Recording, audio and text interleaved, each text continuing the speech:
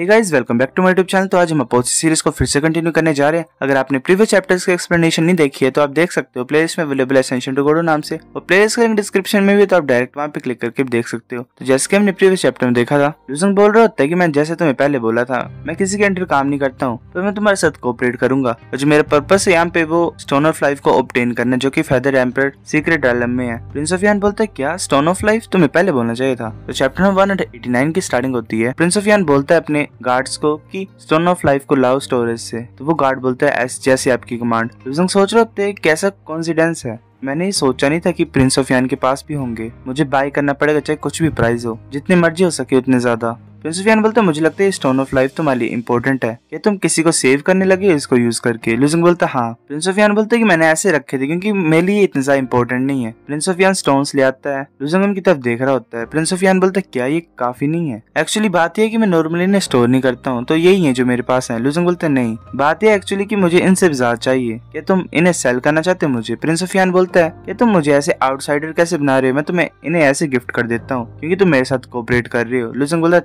Thank you Prince of इंसान बोलता है, अगर तुम्हें और भी चाहिए तो हम माइन कर सकते हैं उन्हें फेदर एम्प्रेस सीक्रेट एलम में। हम वहाँ पे जा रहे हैं इस टाइम पर जो माइनिंग है, वो बड़ा थकान भरी जॉब है। लुजंग बोलता है, क्या माइन प्रिंस ऑफ़ यान बोलता है हाँ तुम सही बोल रहे हो। जो सीक्रेट एलम है उसमें एक और वेन है, जहाँ पे हम माइनिंग करते हैं। वहाँ पे काफ़ी ज़्यादा हज़ारों सालों से ड्रैगन क्लैन भी माइन करता था और अब फोर गोड कंट्रीज़ करती हैं। पर अभी वहाँ पे जो डिपॉजिट है, वो काफ़ी है। तुम्हें और भी ज़्यादा वहाँ पे रेयर मिनरल्स मिलेंगे स्टोन ऑफ़ लाइफ के अलावा भी। लुजंग बोलता अच्छा ऐसी बात है। बाकी सीक्रेट एलम्स में क्या है? प्रिंस ऑफ़ यान बोलता है वेल अभी उसी के बारे में बात करते हैं, जहाँ पे हम जा रहे हैं। हम ऐसे तो फेदर एम्प्रेस सीक्रेट एलम में जाएँगे, फिर हम हेवनली डॉन सीक्रेट एलम में जाएँगे, पर उनसे पहले हम गोड एम्प्रेट सीक्रेट एलम में जाएँगे शायद। और वो जो प्लेस है, वो एक्चुअली में ग्रेव है, जहाँ पे बड़े ज़्यादा ड्रैगन क्लैंसमैन की डेड बॉडीज हैं, जो कि टेन थाउज़ेंड ईयर्स से भी मतलब काफ़ी ज़्यादा टाइम से स्टोर है किसी सीक्रेट मेथड से। लूजन बोलता क्या ग्रेव वहाँ पे क्या है तो? कैसा ट्रेजर प्रिंस ऑफ़ यान बोलता है की वो हाँ ग्रेव है। तो वहाँ पे कुछ भी नहीं है, सिर्फ़ कोप्सिस ही है। कोप्सिस और भी ज़्यादा कोप्सिस। लुजंग बोलते तो हम वहाँ पे क्यों जा रहे हैं? प्रिंस ऑफ़ यान बोलते बिकॉज़ जो कोप्सिस है, वही सबसे ज़्यादा बिगेस्ट ट्रेजर है। लुजंग हैरान होता है। प्रिंस ऑफ़ यान बोलता है कि जो हेवनली फादर जो सी है, वो ओरिजिनली ड्रैगन क्लैंस का प्लेस था, जहाँ वो रहते थे।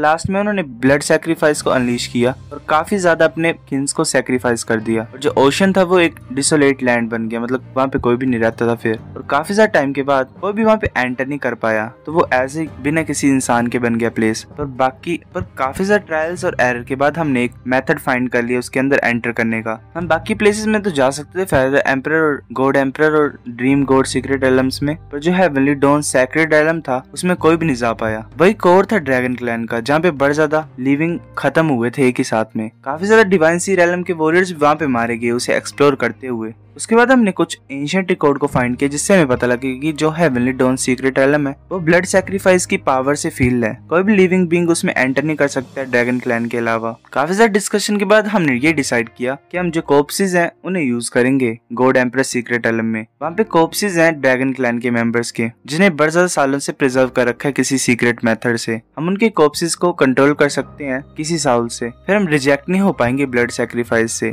और हम एंटर कर सकते हैं फिर हेवनली डॉन सीक्रेट एलम में। लुजंग सुन रहा होता है। प्रिंस ऑफियान बोलता है वेल अभी की बात की जाए तो हम अभी इनिशियल एक्सप्लोरेशन स्टेज में ही है, क्योंकि बड़ा ज़्यादा रिस्ट्रिक्शन है कोप्सिस को लेने के लिए ये इतना ज़्यादा आसान नहीं है कोप्स को ऑप्टेन करना गॉड एम्प्रेस सीक्रेट एलम में। हमें वेल हमें वैसे ट्राई करना पड़ेगा। लुजंग बोलता अच्छा लुजंग सोच रहा होता है कि मुझे लग रहा है कि हेवनली फेदर सी में ऐसे ही एंटर करना इतना ज़्यादा आसान नहीं, जितना ज़्यादा ब्लैक आयरन टोकन को ऑप्टेन करना था। ये, मुझे ऐसा लग रहा है कि ये नेसेसरी था प्रिंस ऑफ़ यान के साथ कोऑपरेट करना। प्रिंस ऑफ़ यान बोलता है कि ब्लैक आयरन टोकन को ऑप्टेन करने के बाद मैंने एक टीम को गैदर की है हेवनली फेदर सी में एंटर करने के लिए। तुम्हें ऐसे स्टोन ऑफ़ लाइफ चाहिए तो मेरे को फॉलो करना तुम्हारी बेस्ट चॉइस होगी। मैं भी तुम्हारी हेल्प करूँगा जितना मैं कर सकता हूँ। प्रिंस ऑफ़ सोच रहा होता है, मैं यही होप करता हूँ कि क्राउन प्रिंस इसे अपनी तरफ़ न खींच ले, क्योंकि मैं कोई भी मैच नहीं हूँ क्राउन प्रिंस के मुकाबले में, क्योंकि मेरे पास इतने रिसोर्सेस नहीं है। मैं यही हैरान हूँ मैं यही सोचता हूँ कि क्या मैं इसे अपने साथ रख सकता हूँ। चुपचाप सुन रहा होता है, और बोलता है, ठीक है, कोई प्रॉब्लम नहीं है। प्रिंस ऑफ़ यान बोलता है, ये बड़ा अमेजिंग है। चल, चलते हैं और ड्रिंक्स को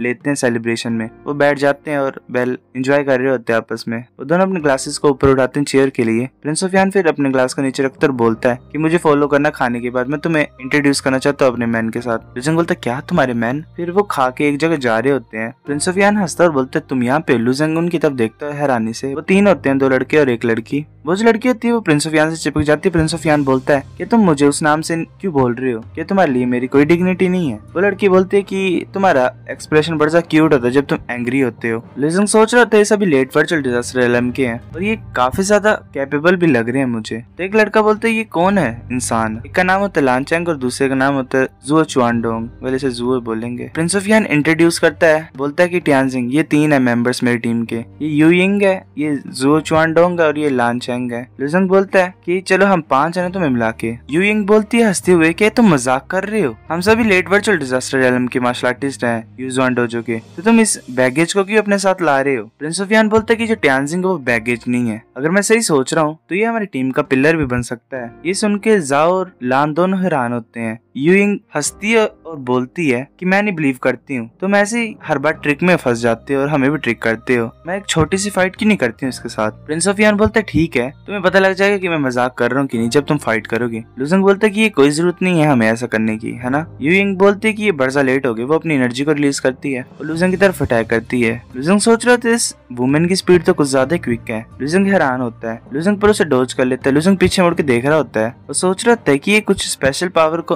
अनलीश कर रही है अपनी बॉडी से। अब मुझे मत बोलना कि ये रूल ऑफ़ टाइम है। लुजंग सोच रहा था कि जो टू स्ट्रॉन्गेस्ट रूल है कॉस्मोस में, वो एक स्पेस है और दूसरा रूल है वो टाइम है। ऐसे तो मैंने रूल ऑफ़ स्पेस को लर्न किया है, पर मैंने किसी को भी देखा जिसने रूल ऑफ़ टाइम को मास्टर किया है। इसने मेरे को लगता है कि अपने आप को स्पीड अप किया है। इसलिए इसने इतने ज़्यादा अटैक्स को लॉन्च किए एक इंस्टेंट में। जो होता है, वो बोलता है कि यूइंग जो प्रिंस है, वो सिर्फ़ एबिलिटीज को टेस्ट करना चाहते हैं। तो तुम्हें हर्ट करने की कोई ज़रूरत नहीं है उसे। यूइंग बोलती है कि मुझे पता है, तुम शांत रहो, मैं इसे हर्ट नहीं करूँगी। यूइंग सोच रही होती है कि ऐसे बोल तो रही हूँ मैं, पर मैं इसे फॉरगिव नहीं कर सकती हूँ। जो कि डिसीव करते हैं हुआ हुआ को। वेल ये अच्छा प्रिंस को हुआ हुआ बोलती है। मैं सोच रहा था कि हंस रही है। मुझे किसी भी तरह से कंफर्म करना पड़ेगा कि ये कैपेबल है हमें ज्वाइन करने के लिए कि नहीं। वो लुजंग की तरफ़ देखती सोचती है, इसकी क्या प्रॉब्लम है? ये ऐसे खड़ा है स्टार्टिंग से ही। इसे तो कोई तो कुछ मूवमेंट नहीं दिखा रहा है। यूइंग बोलती है की मैं तुम्हें ऐसे डोज नहीं करने दूँगी। वो फिर अटैक करने के लिए आ रही होती लुजंग की तरफ़। लुजंग उसे डोज कर लेता है आसानी से ही। लुजंग सोच रहा होता है की मैं भी रूल ऑफ़ टाइम को लर्न करना चाहता हूँ इससे पर। ये टाइम है एंड करने का। लुजंग जल्दी से मूव करता है लो स्पेस को यूज़ करके और उसके सामने आ जाता है। यूइंग हैरान होती है लुजंग अपने हाथ से उसे पकड़ने लगा होता है, वो उसके हाथों को पकड़ लेता है। यूइंग हैरान होती है, बोलते तुम क्या कर रहे हो? लानचेंग बोलते क्या?